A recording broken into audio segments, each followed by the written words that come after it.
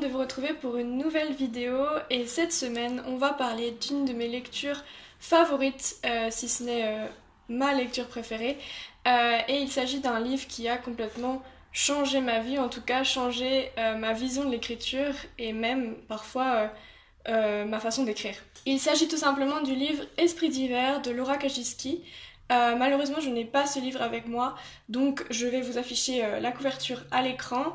Mais je possède un autre livre du même auteur euh, qui est très très bien aussi. C'est pas mon livre préféré de cet auteur, mais j'en avais fait une chronique sur mon compte Instagram. Donc si vous êtes intéressé pour avoir mon avis sur ce livre, je vous invite à aller tout de suite sur mon compte Instagram. Alors j'ai lu Esprit d'hiver il y a à peu près deux ans, je crois, euh, quand tout le monde était cloîtré chez soi pour euh, le confinement et euh, c'était une lecture qu'un proche m'avait conseillé.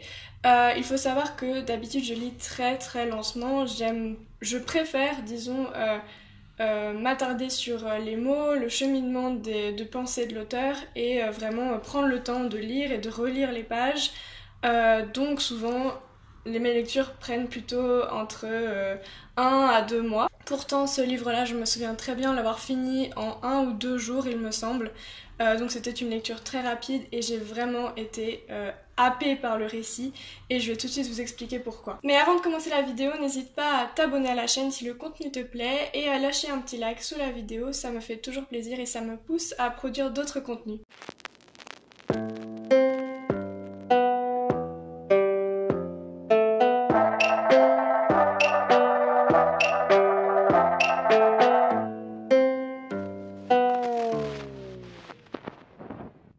D'hiver est donc sorti en 2013 aux éditions Christian Bourgois.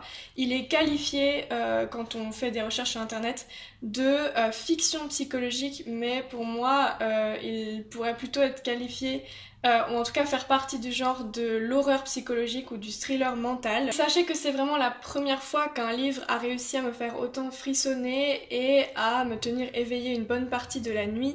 Euh, c'est un livre qui arrive à vous donner ce coup de massue à la toute dernière page et qui ensuite vous laisse seul à tenter de digérer euh, les dernières informations qu'on vous a données et à recoller tous les morceaux euh, qui ont été disséminés tout au long du livre. Avant toute chose, laissez-moi vous donner un rapide résumé de l'intrigue. Alors je vais essayer d'en dire le moins possible parce que moi quand j'ai lu cette histoire en fait je n'avais aucun contexte, je crois que je n'avais même pas lu la quatrième de couverture et je pense que c'est aussi une des raisons pour lesquelles j'ai été euh, aussi happée et euh, que ce livre m'a autant touchée.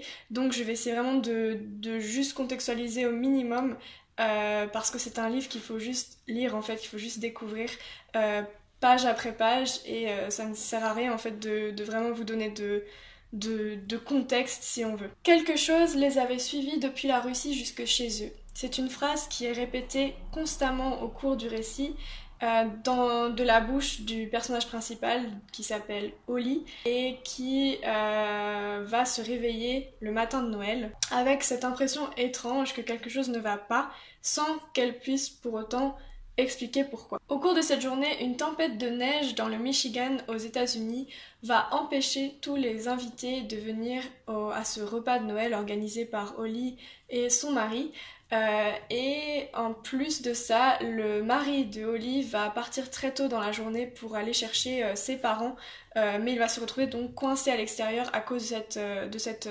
tempête de neige. Donc Holly va se retrouver seule dans sa maison tout au long de la journée, mais pas vraiment seule, puisqu'elle est accompagnée de sa fille Tatiana, qui est une fille qu'ils ont adoptée, elle et son mari, en Russie, il y a plus d'une dizaine d'années. J'aimerais vous dire que ce livre est effrayant, pourtant il ne l'est pas vraiment à proprement parler, puisque dans ce livre il n'y a pas de gore, il n'y a pas de monstres, il n'y a pas d'événements paranormaux. Pourtant, il y a définitivement quelque chose qui ne va pas, et c'est ça qui rend euh, le livre aussi angoissant et aussi bizarre, c'est parce qu'on sait que quelque chose définitivement cloche, mais on n'arrive pas à savoir quoi et euh, on est également plongé dans cette atmosphère très floue, très flottante et complètement hors du temps. De plus, les personnages agissent aussi très bizarrement si on veut. On pourrait imaginer qu'ils sont un peu pris dans une sorte de matière visqueuse qui euh, étire le temps au maximum et qui fait avancer les choses très très lentement. Et la seule chose qui nous préoccupe réellement et qui nous donne ce sentiment de peur, c'est le comportement de la fille de Holly, Tatiana. Euh, qui est soi-disant une fille normalement très attachante, très douce, et qui au cours de cette journée va s'avérer avoir des comportements très bizarres et très inexpliqués. Kaziski. C'est donc dans ce climat de malaise que Laura Kaziski pose son histoire, et vous êtes très loin d'imaginer ce qui se passe réellement. Ce roman a donc remporté le Grand Prix des lectrices de Elle en 2014 et aujourd'hui, Laura Kajiski est considérée comme l'une des auteurs les plus douées de sa génération. Mais à présent, laissez-moi vous raconter un peu plus l'histoire, euh, le passé de cette auteure, euh, puisque son enfance et son adolescence, euh, si on se penche un peu plus dessus, sont très intéressantes pour comprendre un peu son univers et aussi euh, ses inspirations et ses obsessions. Laura Kaziski est née le 5 décembre 1961 dans le Michigan, donc aux États-Unis. Elle publie au départ des recueils de poésie dans les années 1990 et ce n'est qu'en 1997 qu'elle devient romancière suite à la parution de son premier roman A Suspicious River. Beaucoup se mettent à faire un parallèle entre son style et euh, le style d'une autre auteure américaine très connue, Joyce Carol Oates, euh, qui est d'ailleurs une autre de mes auteurs préférées. Et finalement, son cinquième roman publié qui s'appelle À moi pour toujours euh, devient best-seller aux États-Unis en 2007. Kaziski. Laura Kaziski grandit enfant unique euh, dans une famille où les adultes parlent aux enfants vraiment sans filtre. Euh, donc elle peut entendre des conversations vraiment parfois très morbides sur des meurtres qui arrivent dans la ville où elle vit, des accidents, des maladies, etc. Euh, elle grandit vraiment dans, cette, euh, cet univers où on ne protège pas les enfants et où vraiment on leur parle de tout. Elle explique aussi que sa famille était très superstitieuse et notamment sa mère qui disait voir des fantômes vraiment partout. D'ailleurs, Laura raconte qu'une nuit, alors qu'elle était enfant, elle s'est réveillée avec euh, la sensation d'avoir vu un fantôme et lorsqu'elle en a parlé à sa mère, plutôt que de la rassurer, sa maman lui a répondu que elle aussi était persuadée que la maison était tentée. Et alors qu'elle est adolescente, euh, Laura Kazichki va devoir euh, subir, assister à beaucoup de décès de la part de ses proches, des décès souvent très tragiques dus à l'alcool ou autre et euh, notamment elle va aussi perdre sa maman alors qu'elle est encore à l'université. Tous ces détails anecdotiques sur la jeunesse de Laura Kajiski peuvent nous permettre de comprendre un peu mieux son écriture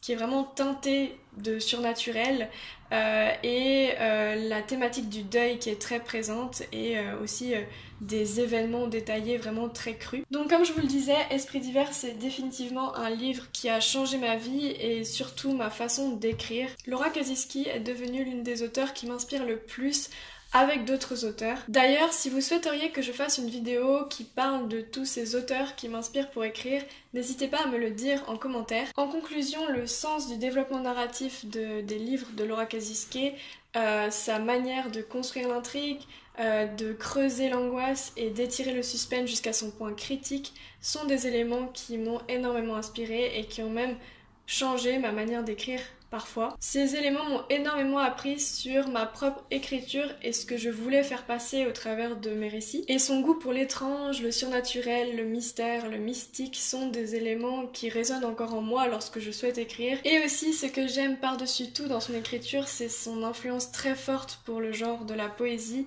euh, qui se retrouve dans ses romans et qui leur donne cet aspect aussi beau et aussi surprenant à lire. Alors dites-moi dans les commentaires si vous connaissiez déjà Laura Kajiski et si vous avez déjà lu des livres de cet auteur euh, et ce que vous en avez pensé? Moi, je pense que je vais lire très prochainement son best-seller euh, À moi pour toujours, dont je vous ai parlé euh, juste avant. donc si vous l'avez déjà lu, n'hésitez pas à me dire ce que vous en avez pensé. Kaziski. Si vous souhaitez en savoir plus sur Laura Kaziski, je vous conseille un podcast de France Culture qui a accueilli l'auteur. Et dans lequel euh, elle s'est exprimée sur sa manière d'écrire, ses inspirations, etc. Et c'est vraiment très très intéressant. Donc je vais vous mettre le lien en description. Et sachez également que Esprit d'hiver va être adapté en série. Donc c'est une mini-série qui fera 3 épisodes de un peu plus de 50 minutes je crois. Euh, et qui était censée sortir en 2021 mais je du coup, je pense que ça ne va pas se faire. Donc, je ne sais pas quand est-ce que la série va sortir, mais en tout cas, elle a été annoncée. Et j'ai vraiment hâte de voir ce que ce livre peut donner sur un écran. Donc, j'espère vraiment que cette vidéo vous aura plu. Si c'est le cas, n'hésitez pas à mettre un like et à vous abonner à la chaîne. Et en attendant, je vous dis à dimanche prochain pour une nouvelle vidéo. Bye